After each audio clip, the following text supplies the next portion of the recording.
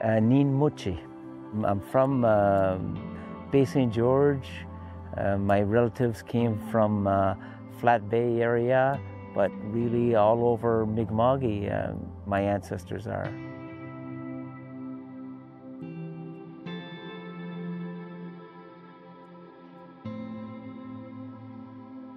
Our upbringing was fantastic 12 brothers and sisters.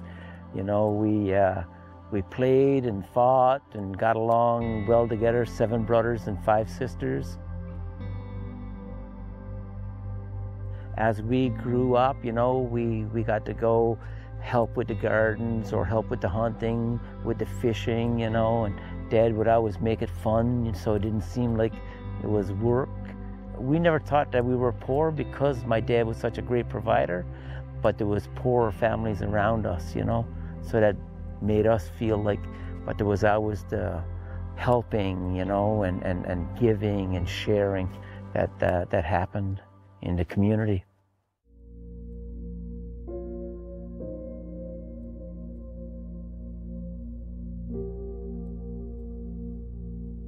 We never grew up involved in Mi'kmaq culture.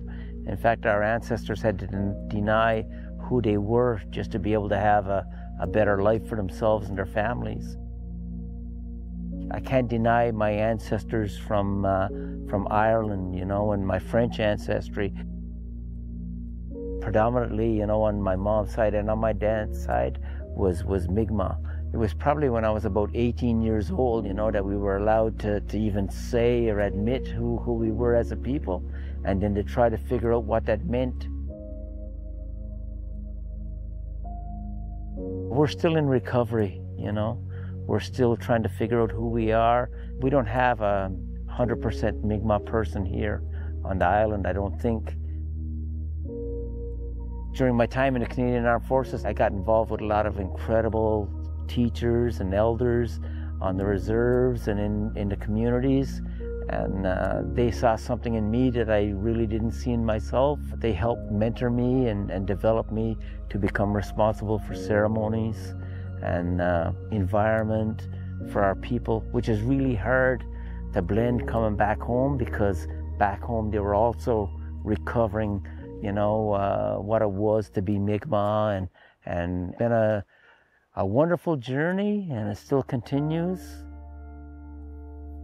The Mi'kmaq were a proud, honorable people. We're um, resilient people, but we're a hurt people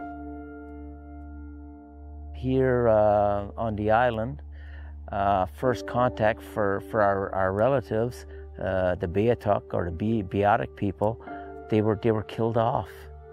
For the Mi'kmaq people that were left behind, they had to either move back to Atlantic Canada uh, regions or they had to assimilate into the, the, the culture of the newcomers.